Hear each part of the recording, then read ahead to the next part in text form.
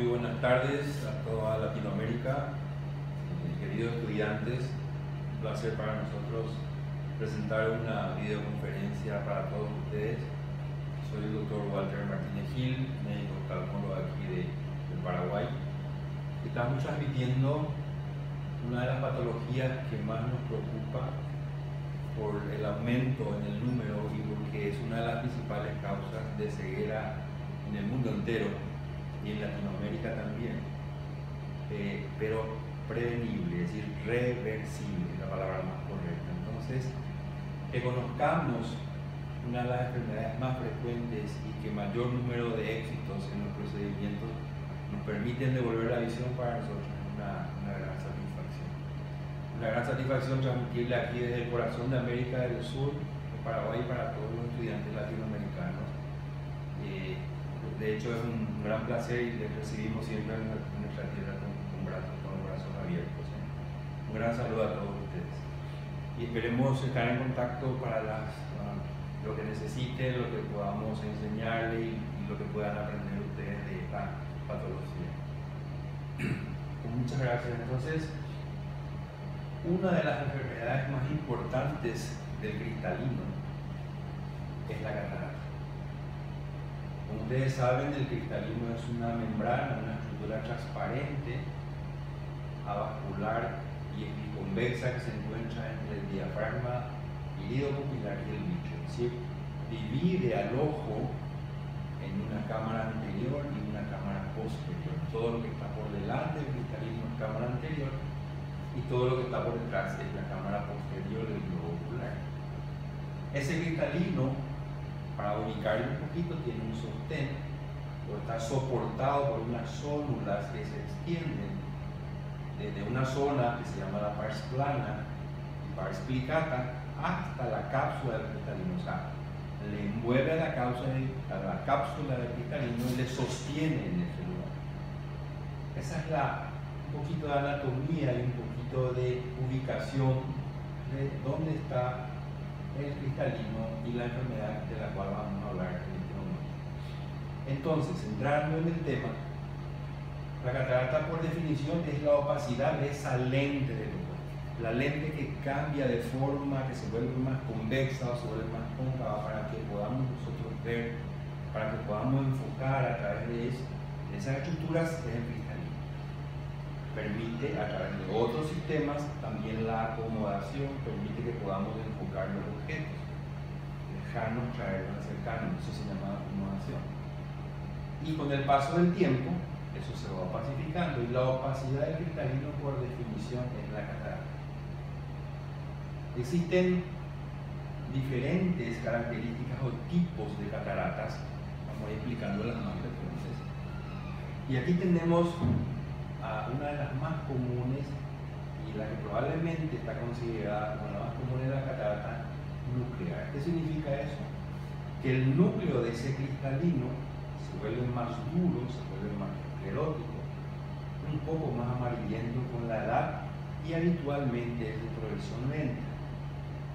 Ese núcleo marrón en la catarata avanzada puede volverse un poquito más oscuro con el tiempo, inclusive llegar a una catarata negra o negra como le llamamos.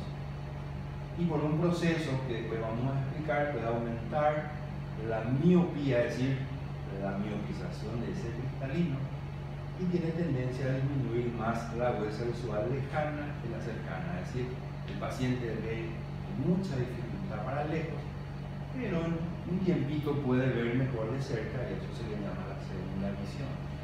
Pero eso es una cosa que va a evolucionar y esto te va a impedir inclusive la visión normal de la persona. Entonces, una de las más comunes y la más frecuente es la catarata que afecta al núcleo de ese cristalino.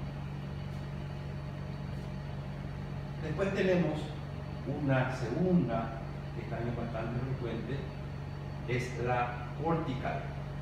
La cortical significa que afecta la opacidad en las la estructuras más periféricas del cristalino en forma de cuña. Normalmente causa mucho deslumbramiento y con el paso del tiempo eso se puede licuar, dar un núcleo denso que tiene un nombre de catarata hemorrágica.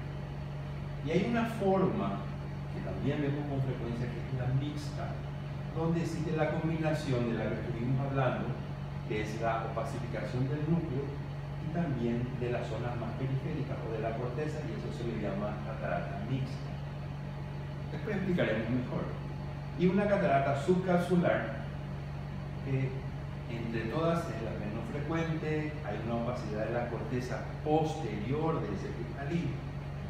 También provoca gran cantidad de alumbramiento y principalmente afecta más la visión cercana que la lejana.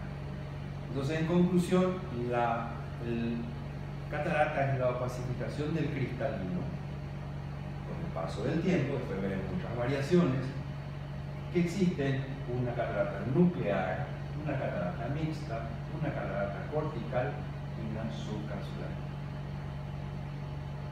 Esa es la imagen que nosotros proyectamos cuando estudiamos a un paciente, donde hacemos una dilatación de la pupila y vemos como el núcleo, el cristalino, que su nombre lo dice, debe, dejar pasar la luz, está absolutamente opacificado. Entonces, se ve como la zona central está más esclerosada, más amarillenta, y también la periferia, se ven como unas cuñas que salen de la periferia hacia el centro, y esta es una catarata mixta que vemos también con frecuencia donde existe opacidad de la zona central y de la zona periférica. Eso es lo que así vemos nosotros esa imagen. Cuando hablemos de los medios diagnósticos voy a insistir un poquito más en esto. Hay muchos, muchas clasificaciones, pero tratamos de hacerlo lo más didáctico posible para que podamos entender después lo que vendrá en las explicaciones. Están las cataratas sendibles, que son las que nosotros vemos con mayor frecuencia en Latinoamérica. Existen cataratas traumáticas, quienes trabajamos en los hospitales tenemos por traumas penetrantes, traumas contusos, catarata metabólica en los pacientes diabéticos, cataratas tóxicas por el mal uso de los existen cataratas secundarias, hay infecciones intraoculares, cuando se afecta el iris, el cuerpo ciliar o la coroides, eso se llama uveitis. Y de acuerdo al estadio, hay una catarata que puede ser inmadura, de acuerdo a la etapa en la cual eh, está incipiente, la catarata madura, una intumescente cuando el cristalino aumenta de tamaño, a explicar mejor más adelante, y una hipermadura en el estadio. Y según la edad, ¿por qué traje esta clasificación? Porque es muy importante que hablemos de las cataratas que ocurren en la etapa en las que son congénitas. Hay cataratas infantiles, juveniles, presentiles y seniles de acuerdo a la edad. Entonces, hay un sinnúmero de clasificación según el estadio, según la edad y los tipos de cataratas más frecuentes que vamos a hablar posteriormente. Epidemiológicamente, como dijimos, es la principal causa de ceguera en el mundo subdesarrollado. La prevalencia aumenta con la Fíjense aquí como existe un núcleo central bien esclerótico, esclerosado, que no deja pasar la luz en el centro, pero un poquito mejor en la periferia, en una pupila que está dilatada.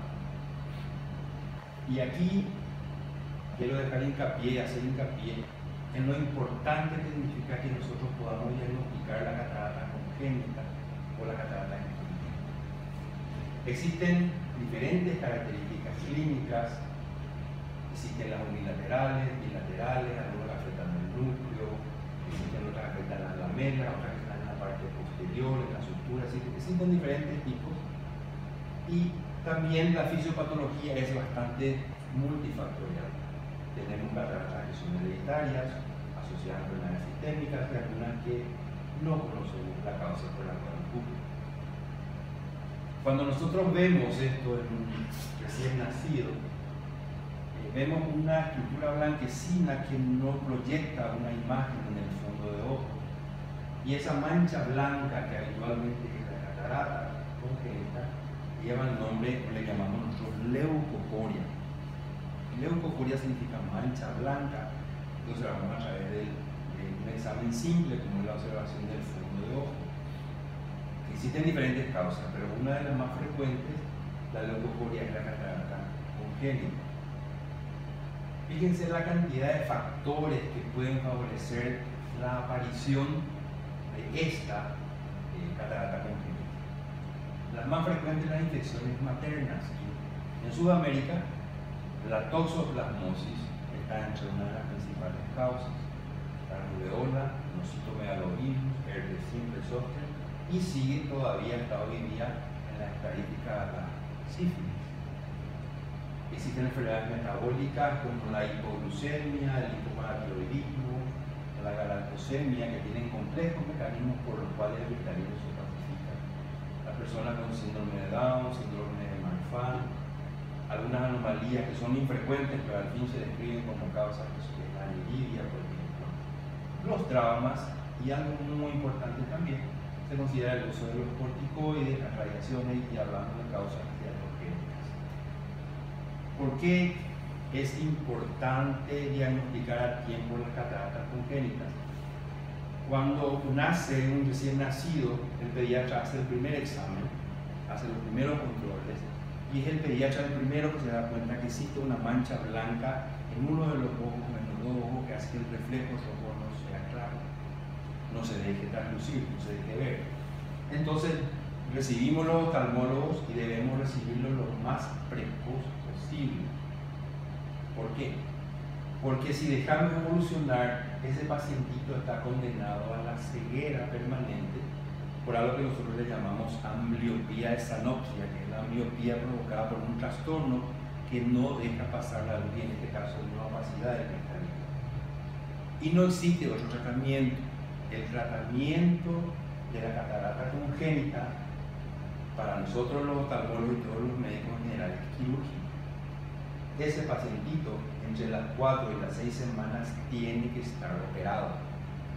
Tiene que hacer una cirugía donde extraemos el cristalino que va a permitir que pase la luz y trabajamos con los padres y usamos lentes de contacto o gafas antes de los 18 meses.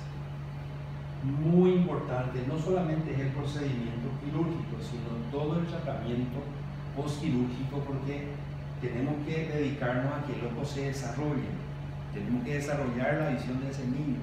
El desarrollo es desde el día 1 hasta los 2 años, es la etapa más importante. Y los primeros 6 meses es muy útil que esté permeable todo el trayecto de los medios transparentes del ojo para que desarrollemos la visión. Entonces, a esos niños, solo le instalamos, le insertamos lentes de contacto hasta los 18 meses, para que, como no tiene cristalino, le sustituimos por un lente de contacto y eso permite desarrollar la visión de ese para evitar lo que en medicina se llama ambliopía. Ambliopía significa ausencia del desarrollo, falta de desarrollo, en este caso porque hay una obstrucción al paso de la luz. Entonces, la enseñanza y lo que siempre queremos enseñar a los médicos, a los estudiantes,